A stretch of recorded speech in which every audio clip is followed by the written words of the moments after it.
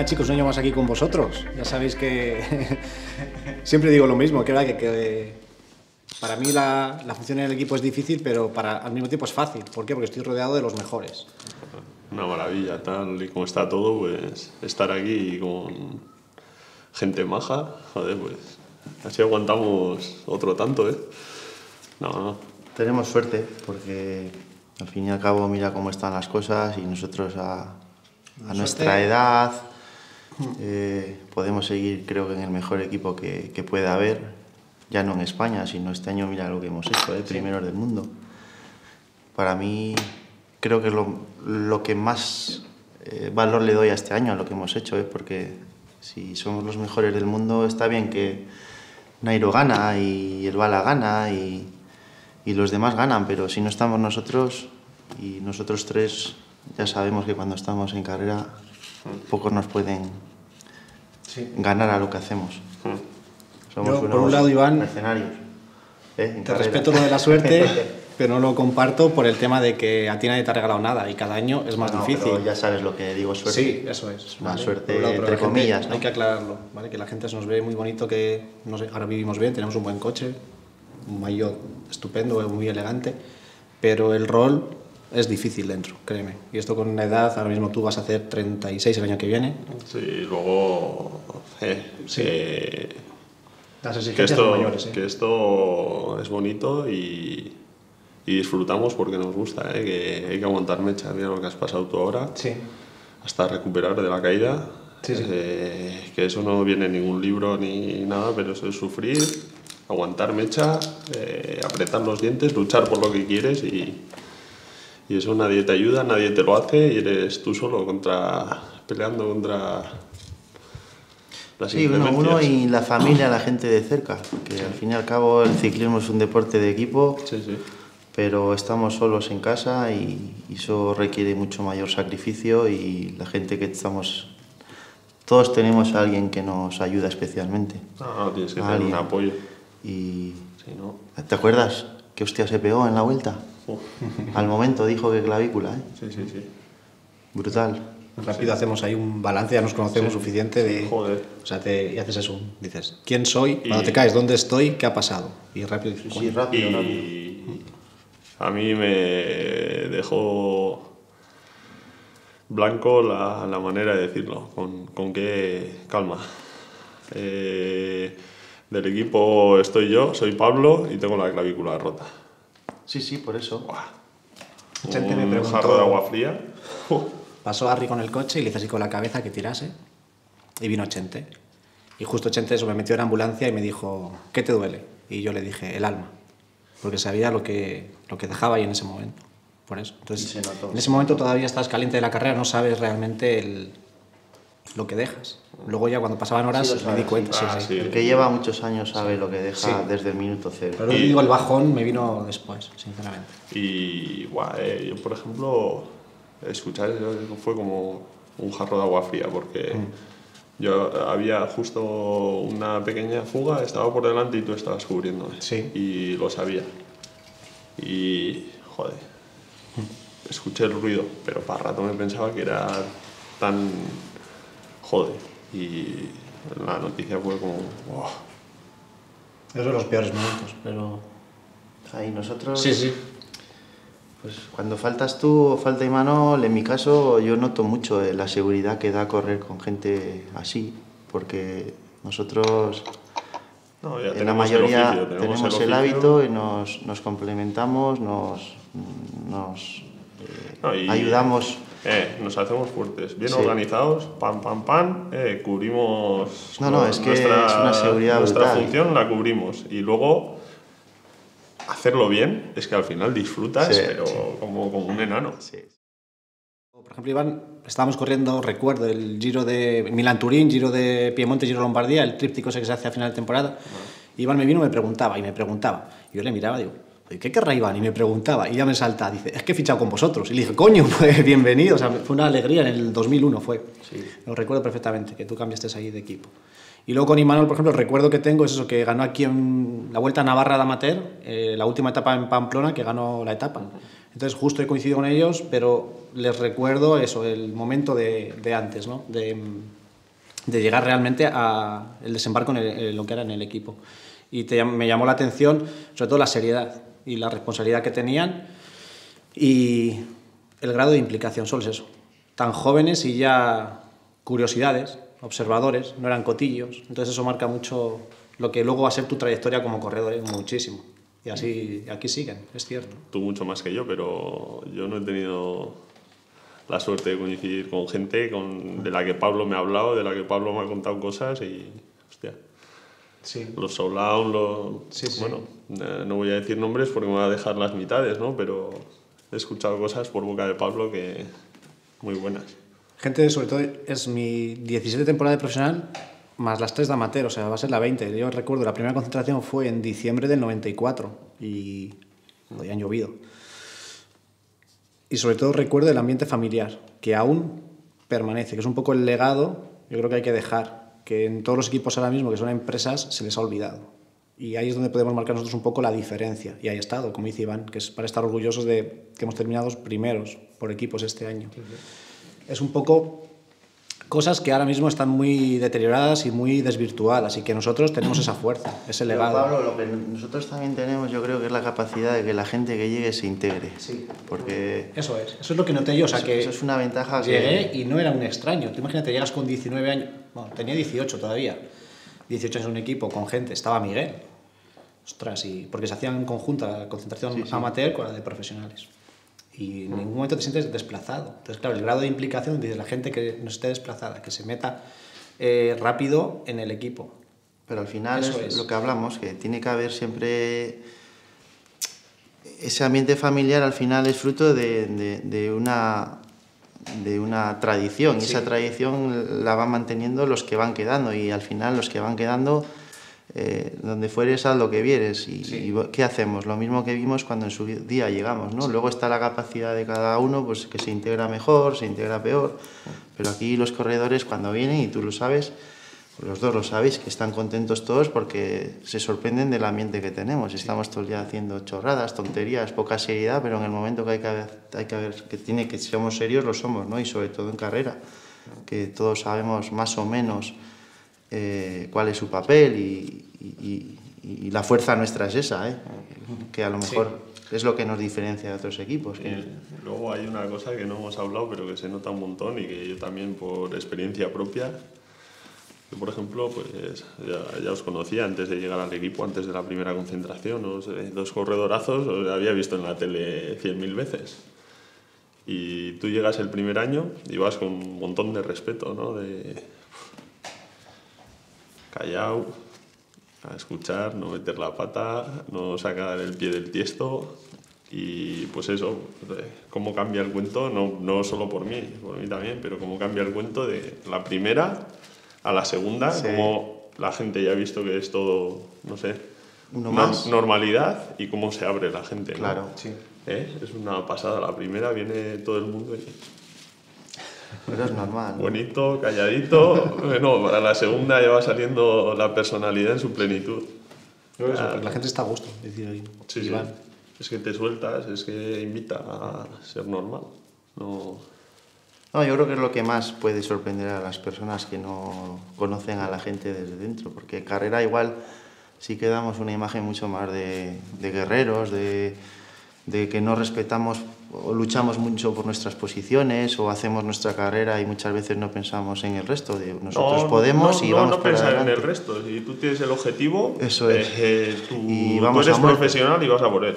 Y eso lo tienes que tener claro. Y competición es competición y amigos es después, ¿sabes? Eso es. Yo lo he hablado incluso con la gente que igual entreno aquí. Digo, mira, yo igual en carrera, si, si, es por mí, no tengo problema en cederte lo que sea. Si voy con mis compañeros, voy a ir a lo que tengo que ir y, y, después, o sea, las cosas claras y después nos echamos las risas después y, y fuera de carrera lo que haga falta, ¿sabes? Como siempre. Pero carrera... A muerte. Eso es así. A muerte, a muerte. Yo sobre todo recuerdo era un chavalillo y mi tío me llevó a la clásica de los puertos en Guadarrama, que se hacía en el mes de agosto. Y allí me presentó, pues mi, amigo, mi tío es muy amigo de Ángel Arroyo, es cuando Arroyo estaba todavía compitiendo, estaba en eso, pues eh, Perico, Gorospe, la guía, que era el director nuestro. Y ese es el recuerdo que tengo yo, del primer recuerdo que tengo de, del equipo. Yo, el, una cosa que me pasó muy curiosa es que cuando llegué a firmar el contrato con Eusebio, eh, a la bajera que había en, en Orcoyen, la antigua, recuerdo que fue abrir la puerta y salía Indurain por la, por la puerta de la bajera. Y para mí fue como un, un, síntoma de augurio, de buen augurio, ¿sabes? Es decir, hostia, como que me daba la alternativa. Es una cosa que es la primera vez que cuento, nunca lo había hecho, pero bueno, no me puedo quejar porque nunca pensé que iba a estar tanto tiempo en el equipo y, y sobre todo tan a gusto, ¿no? Uh -huh. y, y, el recuerdo que tengo yo siempre del equipo es de, de ver, claro, a, al bloque siempre con Indurain, el mítico Banesto, ¿no? ¿Quién no ha querido ser de joven correr en el Banesto cuando uno es cadete, juvenil y se plantea algo en, en el ciclismo y dices, jo, yo quiero correr en Banesto amateur. Me acuerdo de ti también, de verte en un campeonato de España siendo amateur tú, ibais allí vosotros con Eladio, iba Mancebo, eh, vestidos de Banesto y yo era juvenil aún y para mí era, pues, era algo que me impresionaba, ¿no? Y, y eso es bonito. Luego cuando ves a gente como Perico, que han sido todo en el ciclismo y que afortunadamente lo siguen siendo, porque ya no hay corredores que vendan como, como lo hace Perico. Es una pena. Y, y estar aquí, pues al final lo das parte, lo das por hecho, no, no, no lo piensas, pero porque cuando tienes una cosa como la que la dejas de valorar, pero creo que cuando estamos así tranquilos los tres y echando una parlada, como la, pues sí, aquí a otra concentración en analizamos, la sauna, ¿te acuerdas? Sí, sí, sí, analizamos las cosas, las sí. ves y, hostia, y es lo que te hablaba antes de la suerte. Somos privilegiados sí. Por estar donde estamos, ahora llevando la M, antes llevábamos la QES, antes Baleares. A mí, a mí me pasa una cosa, cuando veo ahora el logotipo este de 35 en el mayor, pues empiezas a pensar y, bueno, pues sí, tengo 30 años y me ha pillado, ya comenzó todo antes, ¿no? Pero me ha pasado como que eh, soy de la zona de Irurzun, donde, bueno, pues mis padres son de dos pueblitos pequeños al lado, ¿no? Y mucha gente de la familia trabajaba en la fábrica Reynolds y NASA. Y entonces, claro. eh, pues bueno, estaba muy integrado el equipo en, en la zona, en la zona y, en, y, en, los trabajadores tenían pues que si un maillot, que si claro, tal, que si claro. cual. Y yo desde pequeño, pues eh, en casa pues había gorras de Reynolds, algún maillot de Reynolds y yo qué sé, lo típico que para la comunión te toca una bici y tal, pues ya empiezas y con la gorra de Reynolds, con eso, o sea, que es parte sí, sí, de, de, de, tu vida, desde enano, ¿sabes? Desde pequeño. Sí, y, y no, no, o sea, me parecía pues como lo más normal, luego va sí. creciendo, todo cambia, llega llegaban esto y ya, así como lo otro parecía como casi de la familia, pues ah, ya tú también creces, te das un poco cuenta de la situación, de la magnitud del equipo, de lo Y encima, con tradición de ciclismo, sí, un sí. equipo de ese nivel...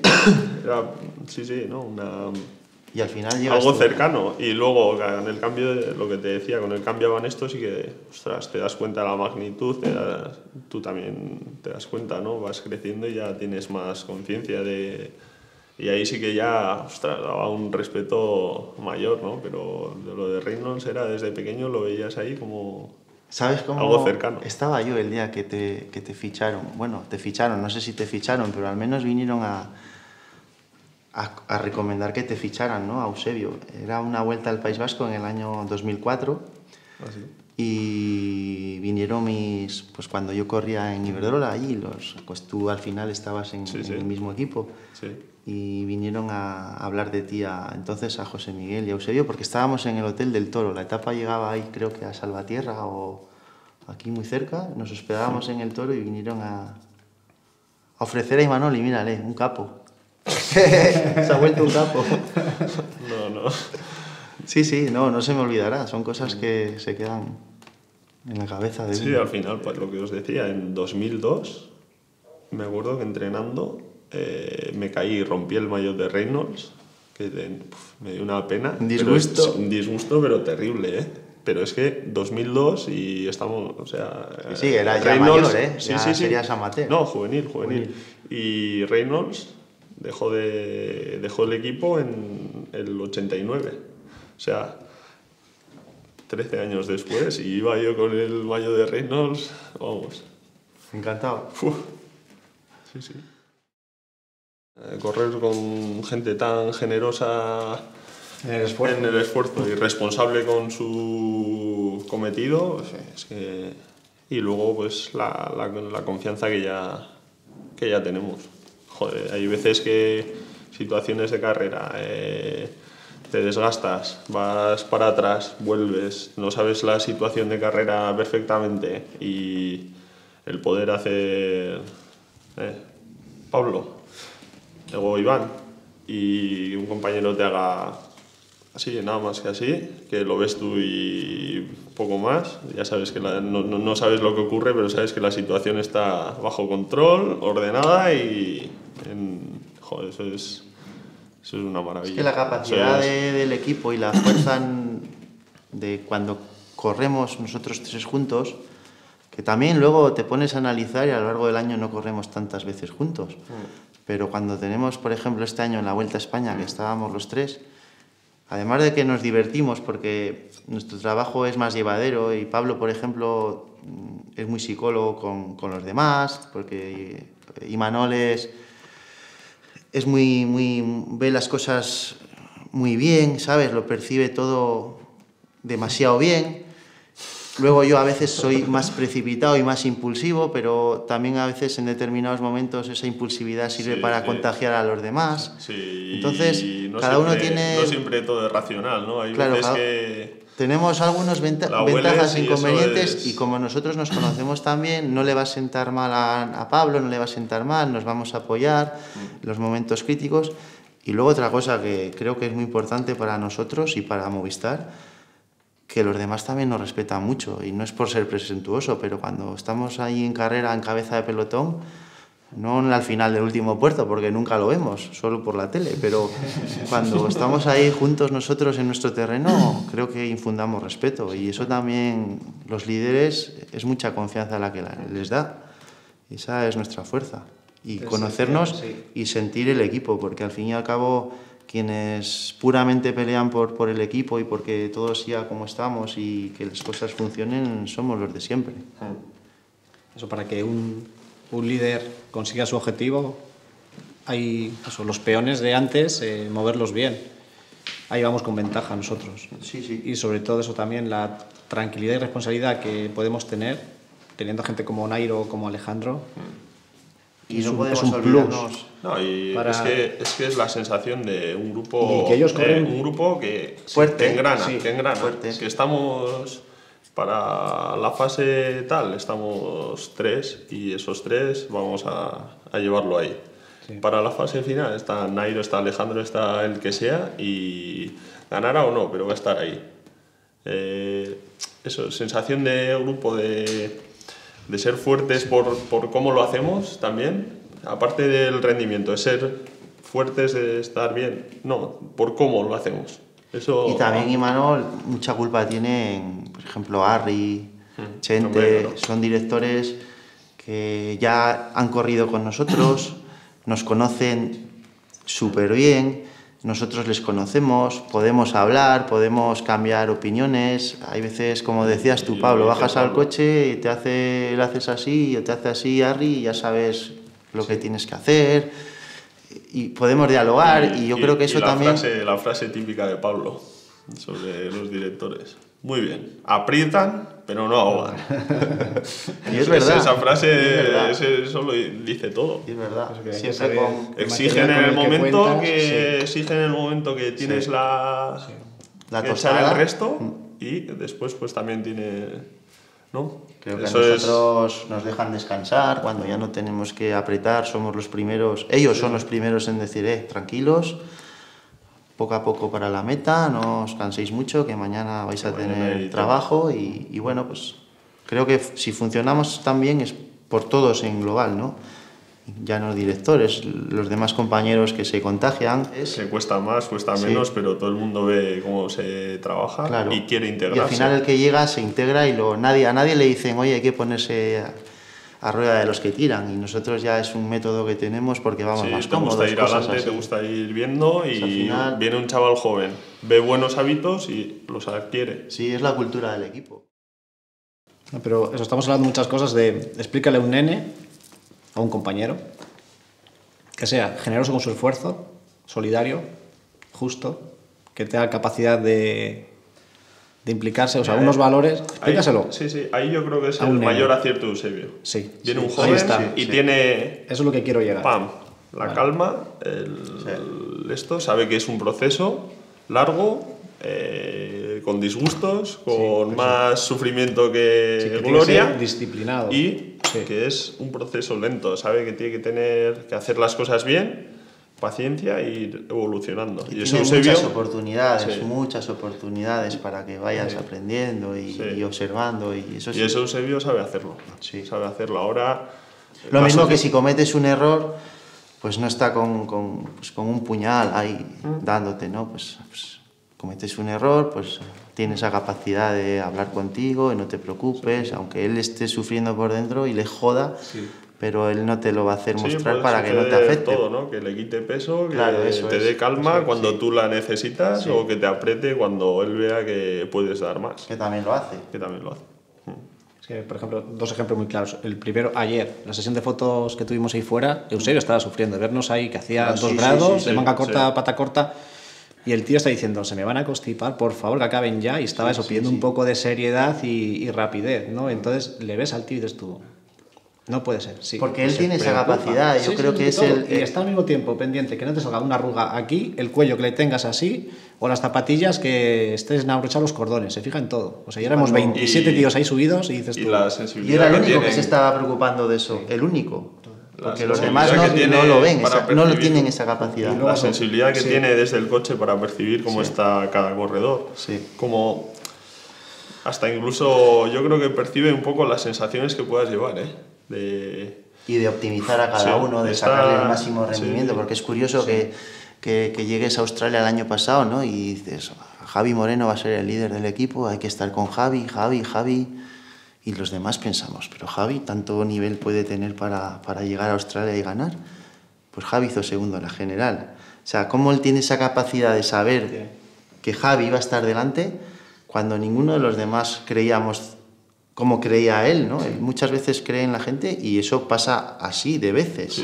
Que vamos a disputar la carrera con un tío y que a lo mejor los corredores no lo vemos tan claro, pero él sí. No sabes cómo está y, él dice que sí y cuida luego este, sale. Cuida este, cuida este. Me acuerdo mucho de Mauricio Soler en, cuando se puso de líder en Suiza, que ganó la etapa y al día siguiente se cayó. Como él decía Mauricio, Mauricio, Mauricio y ganó Mauricio. ¿Sabes? Esos son detalles que yo recuerdo, pero él tiene esa capacidad de saber de, en cada momento cómo está la gente y sobre todo de darles confianza, porque nos la da. Tiene mucha comunicación. Sí. O sea, lleva los últimos años, yo os lo digo, eh, yo he tenido mis más y mis menos con Eusebio hace años ya, pero sobre todo eso, cuida el material, tiene mucha comunicación y trabaja mucho y duerme poco. A mí es lo que me ha enseñado. Sí, y luego pues quizás no tenemos los cambios tan rápidos como igual en otros sitios, pero cada vez que da un paso es firme y seguro. Y, quiere lo mejor para nosotros, que es así. Sí, sí, sí. Lo que pasa es que le tenemos que llamar mister, como en el fútbol, ¿no? Queda mejor. vale. Tú primero. Yo le llamo que es el del taco. Yo le llamo mister, ¿eh? Mister, mister. Y nada, volviendo un poco con los jóvenes, acaba el tour, Nairo consigue algo que no tiene el mismo techo y la gente, joder, ¿por qué no lleva Eusebio Nairo a, a la vuelta? Si hay 13 llegadas alto, lo va a ganar con una pata. ¿Pero por qué? ¿Por qué? Si lleva ya el mejor equipo, pero... En Nairo queréis que gane el Tour, se empieza así, dándole cuenta? descanso. Y la gente no lo entiende. Otro ejemplo. El año pasado, el Giro 2012, estaba en duda si llevar a Nairo o a Andrei. A Nairo, a Andrei. Y Nairo se enfadó. Don Eusebio lleve... No, no, no, Nairo, tranquilo, que eres joven, te llevaré a la vuelta. Que... No, no, no, que quiero Al final, no te llevo, llevo a Andrei. ¿Y Andrei qué hizo? Voló y ganó una etapa. Que está estudiando recorridos, está todo el día con el teléfono, hablando con entrenadores. Eh, con... y cuando va a ver las etapas, que las conoce de haberlas visto 37 veces ya en los tours que ha pasado y sigue viendo puertos y reconocimiento, reconociendo recorridos, o sea, que podía delegarlo. No, lo hace él porque le gusta. El 2011, eso, Fran le dijo, va, te voy a llevar a... Que Fran quería hacer la Rubé en cabeza. No, no, no, ha salido recorrido Castilla-León, vas a ir a Castilla-León, vas a ganar una etapa. Y ganó dos. A Rojas le quitó de la Gante que lo llevó a Volta a Cataluña y ganó una etapa, hizo segundo en dos y tercero en otras dos. Con nuestro amigo Tondo, lo mismo, le dijo, no, apura un poco el estado de forma, que le dio un cólico justo a las clásicas de las Ardenas, y dice, apura un poco más, Xavi, te lo pido por favor, y ganó Castilla-León. Entonces, al final, eso tiene una visión, una percepción, que es que va por delante. Eso da Conoce mucha, mucha, mucha confianza. El Campeonato de España y ganaste tú en Albacete. Dábamos una vuelta grande de 100 kilómetros y luego dos pequeñas de 50 y tantos. sí. Pues esas dos pequeñas, él se las hizo en coche. Pegaba un aire, se paraba en los pueblos, miraba alcantarillas, si había arena en la curva. O sea, lo hizo. En vez de quedarse en Albacete tomándose un pincho con un manager que le va a poner la cabeza loca, que le quiere meter a un corredor, que pan, coge su coche y se va, se para. Y al final eso nos decía, bajábamos al coche porque no llevamos pinadillo. Aquí es así, tranquilos. Y cuando lleguéis a tal cruce, a abrir gas a tope y no miréis atrás. Y las curvas a tope. Si el jefe te dice a tope, a, A tope. tope. Y fuera. Entonces, eso al final es lo que la gente tiene que entender. Que Eusebio Este cuida. No, poca, poca Da- gente, sí, poca sí, sí, gente sí. se estudiará recorridos, dará vueltas con la alineación del equipo para llevar a la gente Los más cambios en que hace forma. de repente, así la gente no tiene que La- entender por qué. las fases de construcción de Sí. forma, que podría venirle también bien esta carrera, pero quiero que aquí sea cuando rinda, entonces tengo que sacrificar es- eh, todo eso. Muchas veces se habla de que mueve- nos mueve el calendario mucho, pero es que todo eso, poca No, gente mueve el dará calendario- vueltas a la cabeza, tanto como, Eusebio. Él, nosotros a veces ya lo vemos con problema el cambio de calendario, pero él cuando lo hace no da ni un palo de ciego y, y muchos equipos tienen calendarios para toda una temporada y es Y prácticamente que luego los invariable. van De 8 que pueden ir 6. Sí, de por 1 a eso, 7, por 5. eso. Si van Y bajo nosotros- mínimos. Y Sí, nosotros sí, ¿de qué siempre donde vamos Sí, hay un sí. tío allí que, que funciona, siempre uno mínimo. Sí. Pero bueno, yo, o sea, yo este año hablaba con él cuando me retiré del tour, vine de viaje con él en coche de, de Pirineos a, a la frontera. Yo venía hundido porque me había retirado en el tour y le preguntaba a él, tuvimos una conversación así trascendental, no de espiritismo y esas cosas, ¿no? Pero era de, hablábamos de, pues, ¿por qué? Yo le dije que cuándo se iba a jubilar o que, por qué seguía en el ciclismo después de tantos años. Y me decía que era, que era su pasión, que era lo que conocía y que es lo que le hacía estar entretenido y, feliz, que era su vida. Y le digo, pero tú no te levantas por las mañanas con alguna preocupación. No, dice, yo soy tremendamente optimista y yo creo que esa es la clave de su éxito, el optimismo, que ese optimismo le transfiere a la carretera, a nosotros, y ve positividad y siempre ve un líder que a lo mejor los demás no vemos, pero él lo ve. Y como siempre lo ve bien, pues al final repercute en nosotros. Y, me sorprendió mucho esa frase que dijo. Optimista por naturaleza. Para mí, de la cercanía. La. El. Nairo, tanto Nairo como Alejandro, eh, para cualquier situación no, de tu vida normal no tendrías que cambiar nada porque estuviesen ellos, ¿no? Eso es una maravilla, ¿no? Que tú estás en tu vida normal que haciendo cualquier cosa, eh, imagínate que se te estropea, se te sale la cadena, te tienes que manchar las manos, pues, o tú o él sería indistinto, ¿no? Pues eso es, ¿Verdad? ¿no? Tú, Sí, es que nosotros a lo mejor somos poco objetivos porque como estás conviviendo con ellos a diario y al final Alejandro Nairo, pues es uno más, no le ves como el gran Alejandro Sí, sí, Valverde sí, o como el gran Nairo Quintana, le vemos como uno más del equipo que le das una colleja y que se fastidie, ¿no? Y no vemos Sí, Sí, sí, verdad. Podemos no- contar ahora mismo no les- las características son como corredores, pero que todo el mundo claro, sabe. no le Las buenas respetamos. condiciones que tienen, Como corredores son, sí. tienen talento los dos, y, pero un talento diferente, porque Alejandro hay que estar muy encima de él y a Nairo es precisamente lo contrario, lo tienes que frenar. Tienen ambiciones diferentes. Bueno, tienen los dos ambición, pero para llegar a esa ambición cada uno llega de una manera diferente. Y también las diferentes edades, ¿no? La- la madurez de uno. La evolución, ¿no? De la ambición la- de uno de joven, ahora ya está en otra fase, Sí. digamos, y el otro está en, en la fase ascendente. Sí, sí, claro. sí, sí, sí. Pero yo creo que Alejandro lo que le diferencia de, lo de, de los demás es lo buena persona que es. Si Alejandro tuviese un poco más de, de mala hostia en determinados momentos, le hubieran ido mejor eh, las cosas, ¿no? De lo que le han ido, que como para quejarse. Sí, sí. Pero el- Eso la gente no lo... A mí me gusta eso, que saquemos estas características de ellos, estas pero es que es virtudes. tan bueno, tan sí. bueno, tan bueno, Sí, tan pues bueno. en que- ciertos momentos decir, eh, vale, Eh, hasta aquí y, Aquí mando y ya yo. no te permito eso más. Es, eh. Eso es, aquí mando yo ¿Sabes? y ahora te vas a enterar por qué mando yo. En carrera, ¿no? Y incluso con, con los rivales, ¿no? Para hacerse respetar. Y, pero bueno, y, y Nairo yo creo que ha sido todo lo contrario. Yo me acuerdo este año en la París-Niza que, que le insultaban porque le veían así Chiquitín, negrito, chiquitín. Eh, ya sabes que es mucha tensión en la París-Niza y como le decían colombiano de mierda los italianos, ¿no? Sí, y yo iba ahí a defenderle porque joder, a mí eso me dolía mucho. Porque es un tío que se deja querer, Nairo. Es como para darle abrazos todo el día, ¿no? Ah, sí, sí. No, Tiene eh, esa capacidad que se deja querer y, No, no, y luego Nairo y luego tiene- mira cómo se ha ganado tiene- él a pulso lo de sí. quién es. Ahora mismo nadie se mete con él. Sí, por sí tiene, mismo. Tiene un amor propio muy grande Sí. y le da igual. Mucha Él confianza. se va a hacer valer y le da igual que alguien venga Sí, a molestar, que, que lo va a superar y, no se va a dejar doblegar jamás. Está muy a gusto también. Sí. Sí, hombre. Y luego Es también. que su futuro pasa por aquí. Sí. Sí, Si Nairo no estuviera aquí en este equipo, no iba a estar tan arropado. Yo no le nunca. veo, ¿eh?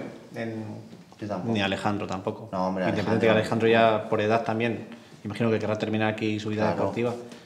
Yo no, no les veo. No, no. No encajarían. Es- Aparte de eso, eh, todos los de- equipos ahora mismo, y voy a hacer una crítica, no tienen identidad ninguna. Ninguna. Yo hablo mucho con directores y me preguntan, ¿no? Y claro, les cuento lo que quiero que se sepa, lo que no, me lo voy a quedar. Y es que les falta identidad. Y ellos, La yo no les veo en- a ellos dos en, en otro equipo, por, solamente por eso.